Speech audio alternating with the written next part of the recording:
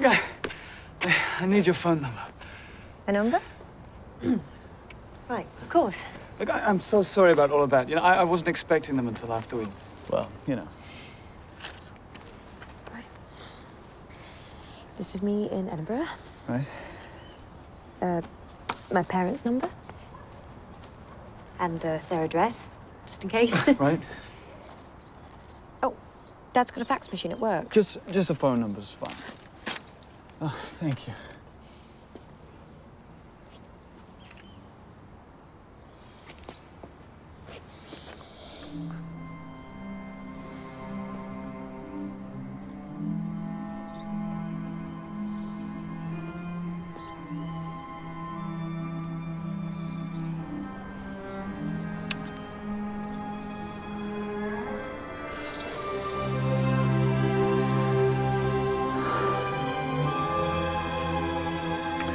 Look, I've got to go.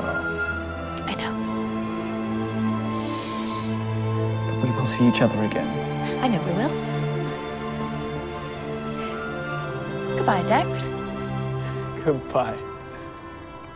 Goodbye.